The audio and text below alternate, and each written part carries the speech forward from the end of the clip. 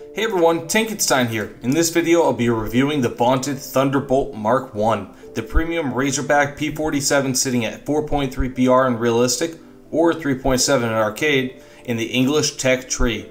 I'll give you an overview of the plane, its strengths and weaknesses, and then I'll tell you if I'd recommend you purchase it or not. I know your time is valuable, and so is mine, so let's jump into it. So, let's go over the stats first. As a 676 km per hour top speed, a 25 second turn time, an 11.2 meter per second rate of climb, and 850 cal machine guns. And to start with the overview, I just want to say that this plane is very special, being that numerous nations have a version of it, and many are able to be unlocked in the standard tech tree with silver lions. This means that while you won't get the same exact experience with the Thunderbolt, you can easily fly in a P-47 to see how it flies and if you like it. Just so you know, most people like it, and they like it a lot. The Thunderbolt Mark I is a British variant of the P-47-22RE, which is now present in the US tech tree. It flies well as an attacker, fighter, light bomber, etc. You can easily take out a base from realistic with this bad boy and still destroy ground forces with your 850 cals.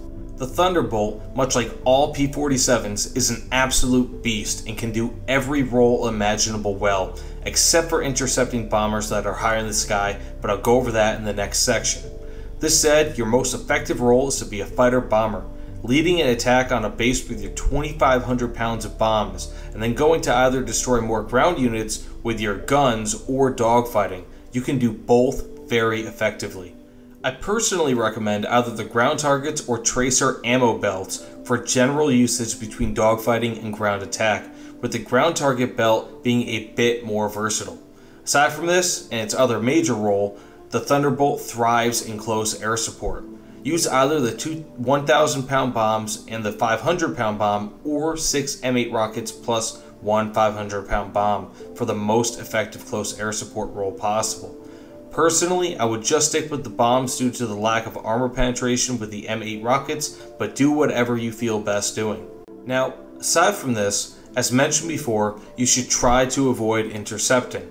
While you can and should climb at the beginning of a match, your rate of climb will most likely be the lowest on your team, especially when carrying bombs. You can dogfight plenty well, but wait until the fight drops a few thousand feet, then you can take out your prey with ease. This all said, in summation, do whatever you want in this plane, but try to avoid intercepting if you can help it. And now that the overview is complete, let's go over its strengths and weaknesses. First, it has a great loadout. It's not the best as P-47s are concerned, but it's still quite capable, especially at this BR. Second, it has a good armament, bordering great. 850 cals is about as good as you can get for only having MGs as your primary weaponry. Primary armament of the P-47 was, and still is, legendary, for good reason. When you're not smacking around planes out of the sky, you can just as easily turn those 50 cals on enemies lightly armored on the ground or even medium tanks on the ground and damage or destroy them. The ammo capacity with over 3450 caliber rounds is insane. That equals 425 rounds per gun, which gives you around 35 seconds of firing time, which is many times higher than your average fighter. For its third strength, durability. This plane is ridiculously durable and can stand up to both bullets and bombs, especially if you're not that great of a bomber. Fourth, good maneuverability. The P-47 Thunderbolt Mark I can turn fairly well, especially for a plane of its size. While it won't beat a zero in a dogfight, you can dodge some foes like heavier variants of the Focke-Wulf 190 or heavy fighters. Fifth, awesome speed and rate of dive. Although the Thunderbolt Mark I lacks a great rate of climb, once it gets to altitude, it can speed by many of the fastest planes at its BR, such as the Focke-Wulf 190A4, Mustang Mark 1A, and the Spitfire F Mark 9. If you see a target of opportunity below you, whether a plane or ground target, you can easily race towards it with your ridiculous rate of dive, due largely to the weight of the plane plus its engine strength. Additionally, another strength is versatility. If you've ever flown any P-47, minus the one in the German tree, you know how much these can do. Whether you're fighting air, ground, or even sea, this plane can do it all and without complaint. And finally, premium bonuses. With, as with all premiums, the Thunderbolt Mark 1 has both RP and Silver Lion bonuses.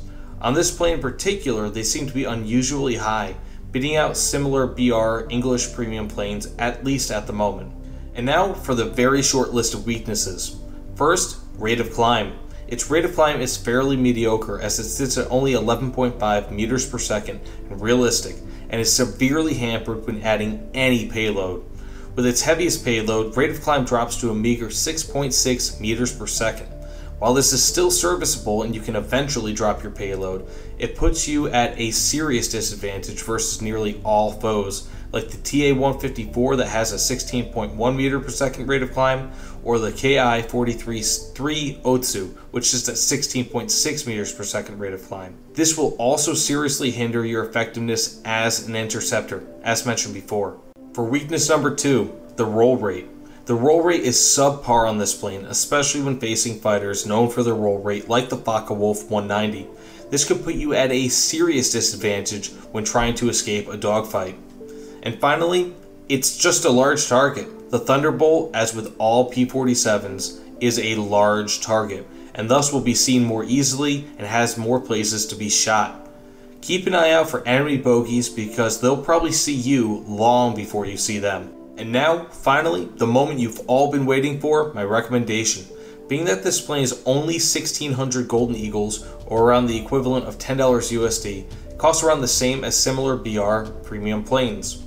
One could take a look at the TA-154, which is 1450 Golden Eagles. I've got a review on that, linked below, or even the Hellcat Mark III, which costs 1300 Golden Eagles, has slightly lesser stats and arguably lesser maximum loadout, the Thunderbolt is not quite like those, although as mentioned, the Hellcat Mark III is kind of like a poor man's Thunderbolt. The Thunderbolt Mark I brings not only the first P-47 to the English lineup, but brings a level of versatility to mid-BR matches, whether they're air or ground, that the English did not have before. One could argue that the Typhoon Mark 1B could fill that role, but it doesn't quite have the same level of capability when attacking ground, being that its cannons can't pen any better than the 50 cals do on the Thunderbolt, and its secondary armament isn't quite as good. Also, premium bonuses. This said, do I recommend the Thunderbolt Mark 1? Yes, wholeheartedly. This plane is ridiculously good, like all P-47s, and can do anything that you need it to. Plus, as a bonus, it's a Razorback and has an awesome paint job that's stock. For the cost, capability, and fun factor, the last time I had a premium plane around this BR impressed me so much was the TA-154, and this is far more versatile than that plane could ever be. If you have the Golden Eagles and are looking to shore up your mid-BR air-ground lineups for the English, look no further because your best friend now only costs 1600 Golden Eagles. That all said, thanks so much for watching guys. This means a ton to me. Please, if you haven't already, like, comment, and subscribe, as all three things massively help to grow my channel. Let me know what you guys think in the comments below, and tell me if you've bought this beast of a plane for yourself. Either way, thanks again, guys. Stay safe and be excellent to each other. Take care, dudes. See you all on the other side.